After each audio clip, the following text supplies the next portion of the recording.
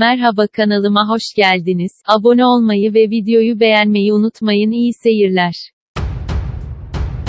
Heyecanla beklenen Dünya Kupası 2018 Rusya'nın ev sahipliğiyle 14 Haziran Perşembe günü başladı. 23 Haziran Cumartesi gününün ilk maçı, G grubunun 3. maçı olan Belçika-Tunus maçı olacak ve Dünya Kupası'nın 9. günü oynanacak. İki takımın analizlerine geçelim. Belçika takımı 13 kere Dünya Kupası'na katıldı. Turnuvaya katılmak için 10 maç yapan ekip, 9 galibiyet ve 1 beraberlik aldı. Hücumda orta sahasında teknik adamlarla, topu kanatlara veya ortadan forvete akıllı paslarla gol bulabiliyorlar. Defansı ise rakip oyunculara yoğun pres uygulayarak yapıyorlar. Belçika'nın üst tura büyük ihtimalle çıkacaktır.